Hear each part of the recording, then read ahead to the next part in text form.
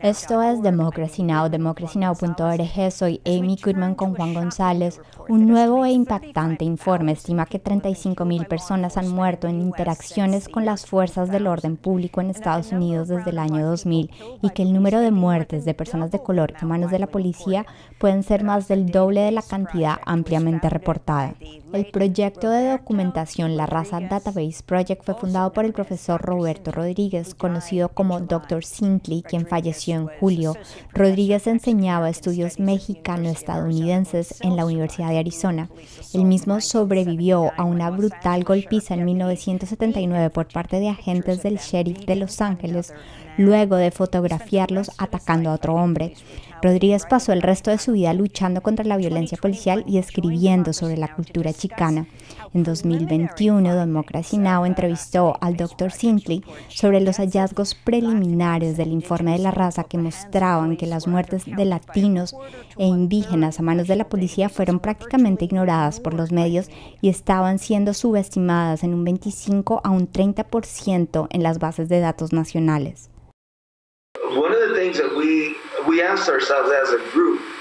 Algo que nos preguntamos como grupo fue, ¿debemos contar todas las muertes bajo detención, etcétera? Todos dijeron que sí, yo solo quería contar las muertes injustificadas.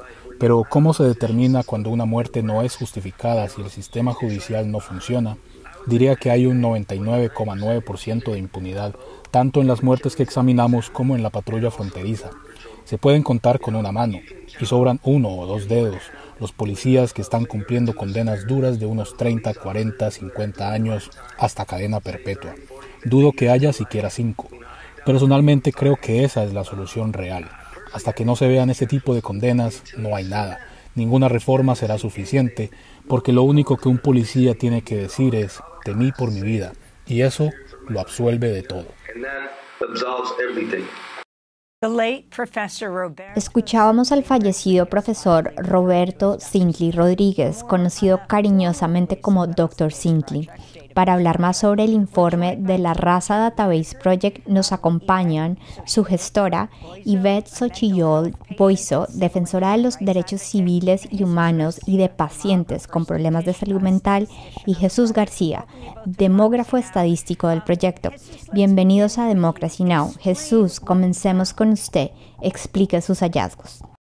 mi Juan, ah, gracias por, ah, la oportunidad de presentar aquí ah, con ustedes. Eh, el intento del base de datos uh, Raza Database es de traer a luz el número de personas que han muerto a manos de la policía. Nuestras estadísticas nos dicen que más de 33 mil personas han muerto, han fallecido cuando se encontraron con, con policía. De este, de este número, por ahí de 6.500 o 20% de la población ha sido latino. Más de 8.000 personas de la raza negra han muerto a manos de, la policía. Uh, un número que nos sorprendió es que la población asiática en, el metodólico antiguo contábamos por ahí de 500 personas muertas de asiáticas o y con el nuevo estadísticas, más de 2.000 personas han contado. Ese es un ah, ingreso de más de 75%. So, nos hemos sorprendido por el número de, personas, pero también con la distribución sobre todas las comunidades, como no, no, no nomás latinos, pero uh, personas ah, asiáticos, negros, nuestra, nuestros hermanos indígenas.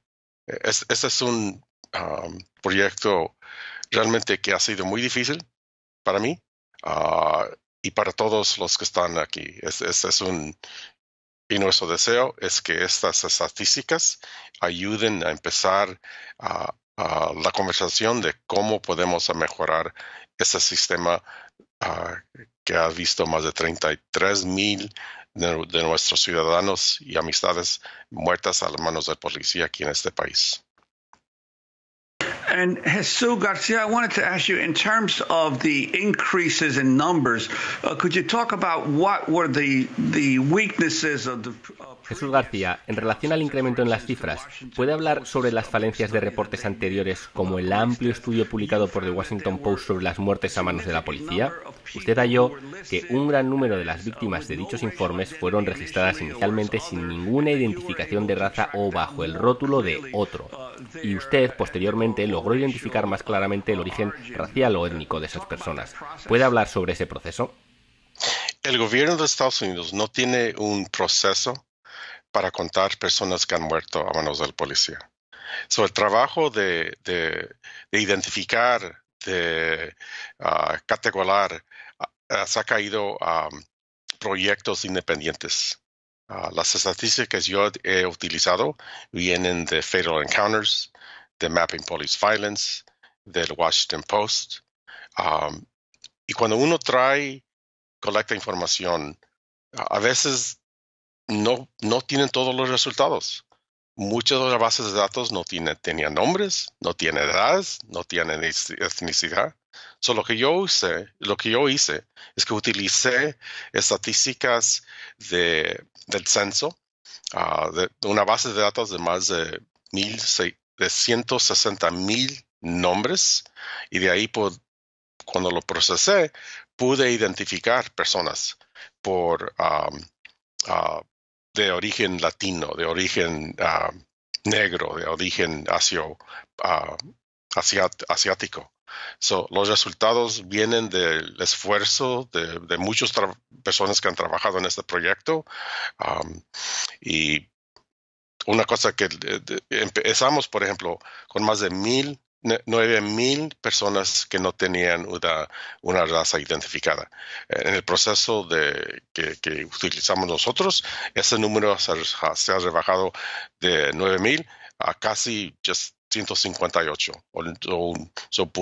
Pude identificar 99% de las poblaciones que no tenían nombres, que no tenían etnicidad y los resultados ah, son lo que tenemos aquí presente en frente de ustedes. Usted también encontró un aumento significativo en el número de muertes de personas blancas a manos de la policía, ¿no es así? Sí, la base de datos de, um, del censo uh, identifica el porcentaje de un, um, de un apellido. Y en ese, en ese sentido pude, uh, pude aumentar el número de apellidos de personas que no son ah, de origen latino, asiático o negro y el número creció de, de, de 11.300 a más de 16.000, son un aumento de casi 5.000 personas. So, nuestro deseo era en ese trabajo era de identificar todas las muertes, no nomás concentrar en, muertes a latinos o negros o, asiáticos. O en ese proceso pude, pude aumentar el número de personas um, uh, anglosajonas de, de mil, de, de 11 mil a más de 16 mil. Y ahora esta población representa 50%, por, 50 de todas las muertes uh, en, en, nuestra base de datos. Quiero traer a Xochitl a esta conversación y Beth Boiso, coordinadora del proyecto La Raza Database Project, puede hablar en específico sobre la violencia sexual que sufren las mujeres migrantes y que ha encontrado en sus investigaciones. Muchísimas gracias, Amy, por estar aquí con, tenernos aquí con ustedes. Pues yo pienso que una de las cosas más difíciles ha sido que nos hemos tenido que enfocar en la brutalidad policíaca simplemente porque no existe algún tipo de colección de información sobre estadísticas de violencia sexual en contra de las mujeres. Pero sí sabemos que este tipo de violencia está pasando dentro de, de los centros de detención y las cárceles y que de alguna manera son prácticas que han existido desde que nació este país y pues las violaciones de derechos humanos y estos crímenes genocidas pues realmente no, no tienen ningún tipo de justicia y sabemos que específicamente escogen a las mujeres de color, las mujeres migrantes, como que no tuvieran derechos. I'm also wondering if each of you, uh, as well as Jesus, Quisiera preguntarles a ambos sobre la importancia del trabajo realizado por Roberto Rodríguez, el Dr. Sintley, como ustedes le llaman, el destacado profesor chicano que falleció recientemente y a quien Democracy Now! entrevistó al inicio de este proyecto. Ahora que celebramos el mes de la herencia hispana en Estados Unidos, ¿qué significan sus contribuciones a esta base de datos? Xochitl, empecemos por usted. El profesor Rodríguez, Dr. Sinkley, de verdad que tiene una visión revolucionaria. Es un trabajo que realmente se enfoca en la eh, invisibilidad de nuestra gente. Y yo pienso que el hecho de que haya dedicado toda su vida después de que él mismo sufrió un acto violento, que casi pierde la vida a manos de los alguaciles de Los Ángeles y que pueda regresar y, y contribuir a la comunidad y decir, aquí estamos y siempre hemos estado aquí y a pesar de que nuestros crímenes casi no son reportados y que el término de esta conversación pasa en términos de blanco y negro, creo que él ha, abierto las puertas para que esas conversaciones sobre nuestra identidad, por qué estos crímenes pasan con, con nuestra gente, con los migrantes, con los indocumentados, y que digamos ya basta, que, que empecemos a retar un poquito la narrativa de este sistema y como él tan, de una manera tan elocuente lo explicó en su trabajo, que somos gente de base indígena, que somos gente del maíz y que merecemos mejor, que merecemos una vida digna y justa. I also wanted to ask Jesus Garcia. You know, we're speaking to you both in California. También quería preguntarle a Jesús García. Ustedes dos están en California. Yvette Boiso en el sur del condado de Orange y Jesús en la localidad de Bakersfield. Hable de la experiencia del Dr. Sintley, el profesor Rodríguez, cuando era un joven en Los Ángeles y fue golpeado por la policía y sobre lo que llevó a la creación de este proyecto de documentación, la Raza Database Project. Sí, para mí Roberto, Roberto era mi amigo. No, no lo conocí como profesor, no lo conocí como doctor Sintley, no lo conocí con, con, como un mentor que es para muchas personas. Para mí era mi amigo. Ah, fuimos amigos más de 40 años. Y desde entonces eh, hablábamos de vez en cuando y nos decía, oye Jesús, you know, yo tengo, soy un profesor o, o ya me voy a México. Pero eh, durante toda su vida yo sabía del duelo que tenía sobre este, uh, sobre, sobre lo, que ocurrió en, Los Ángeles. Cuando me llamó para preguntarme si le podía ayudar en este proceso, le dije, inmediatamente dije, claro, Roberto, para ti yo, yo, hiciera, ah, aquí soy disponible. yo tengo ah, conocimiento de datos, conocimiento de estadísticas ah, para, hacer, para, hacer el resultado de este reporte.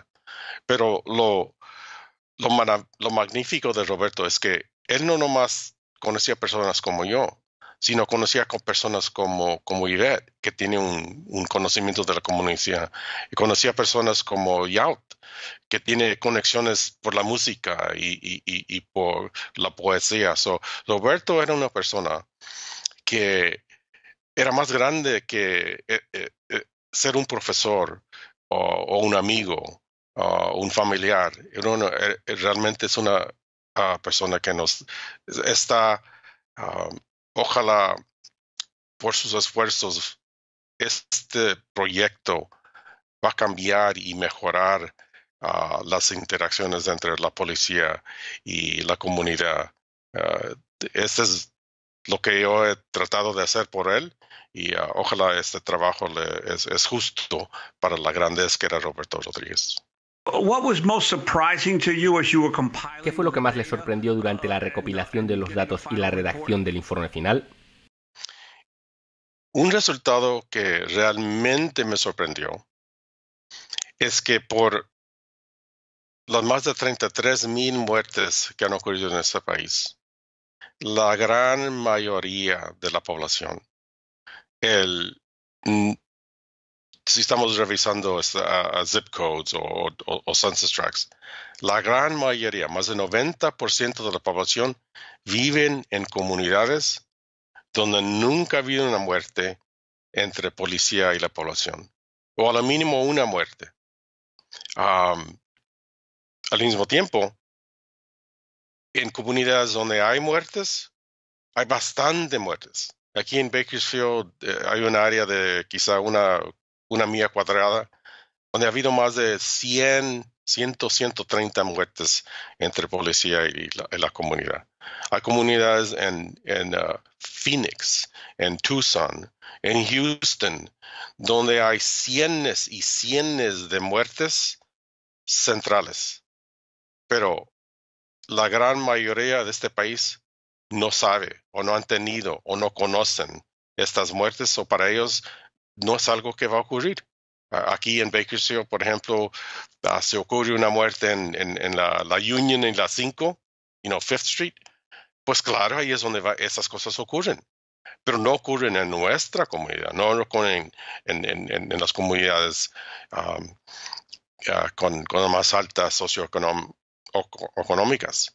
So, esto es lo que me sorprendió como un demógrafo, como un um, planificador urbano, es la, la separación entre la concentración de muertes en ciertos lugares, mientras 95% del resto de la población no, esta es una cosa que nunca les ha ocurrido.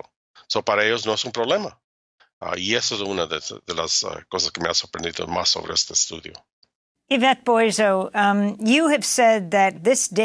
Boiso, usted ha dicho que esta base de datos muestra evidencia de crímenes contra la humanidad. Explique exactamente qué quiere decir y qué es lo que más le sorprendió de esta investigación. Pues creo que por primera vez al poder rescatar las cifras más perfectas, ¿verdad? Ahora sí que este, e, e, esta base de datos no es perfecta, pero es lo más cercano que tenemos el hecho de que la gente eh, que es considerada latina, hispana, indígena, chicana, que haya un 30% de un, cuento que, que, no, la manera en que nos cuentan, ¿verdad? La manera que nos clasifican y que el 30% estemos prácticamente enterrados en la clandestinidad y que haya un 98% de impunidad es algo que, como bien explicó Jesús, no está pasando en las áreas donde eh, son predominantemente blancas y de un estado social más alto. Entonces, yo creo que una de, las cosas que hemos podido lograr con este reporte es que podemos entrelazar todos los tipos de violencia, a quienes están afectando principalmente y que en, en sí a la gente que somos considerada de base indígena o gente del maíz, como decía el profesor ah, Rodríguez, Dr. Simply, sabemos que estamos siendo racializados, que esto es por el fenotipo, es una, eh, son crímenes en contra de la humanidad de acuerdo a las leyes internacionales y pues son crímenes genocidas porque realmente son para traer la destrucción de una raza y esa somos la raza de base indígena. Jesús García, um, Jesús García, mi última pregunta. Usted es un increíble analizador de números, pero en última instancia esto no trata sobre analizar datos, trata sobre personas, trata el comportamiento policial en Estados Unidos. ¿Qué pasa con las víctimas de esa violencia? Hable sobre lo que espera que surja a partir de este proyecto de documentación. Nuestro deseo con ese reporte es que se presente como un base donde podemos tener más ah, ah, discusiones y pláticas. aunque este reporte ah, trae mucha información sobre las muertes a manos de, de policía, hay otros lugares que faltan. Por ejemplo, no, no tenemos muertes de personas que han muerto cruzando la frontera o a manos de la de, de migración, de policíaca de, uh, de, Border Patrol. So, este es un, em, aquí empezamos la discusión. Ah, tenemos más de 33 mil personas que han muerto, más de 6.500 personas uh, raza latina. Ahí es donde empezamos. Ojalá de aquí podemos enfocarnos en, estas áreas de concentración de muerte y uh, ahí empezar a, identificar soluciones locales, porque las muertes de, personas han sido por policía local, por los sheriffs, por el PD. Ah, y aquí es donde podemos empezar la discusión, a ver cómo se pueden ah, cambiar tácticos en comunicación con la comunidad. Y este es nuestro deseo de ese reporte. Yo creo que sería lo que a Roberto le gustaría ver, es empezar la discusión sobre cómo podemos tener mejores interacciones entre la policía, um, servicios de seguridad y la comunidad. Quiero agradecerles a ambos por estar con nosotros. Jesús García, demógrafo estadístico del proyecto de documentación La Raza Database Project, e Yvette Xochillol Boiso, gestora del proyecto. Para ver nuestra entrevista completa con el hombre que comenzó todo, Roberto Rodríguez, puede visitar democracynow.org. Soy Amy Goodman con Juan González. Muchas gracias por acompañarnos.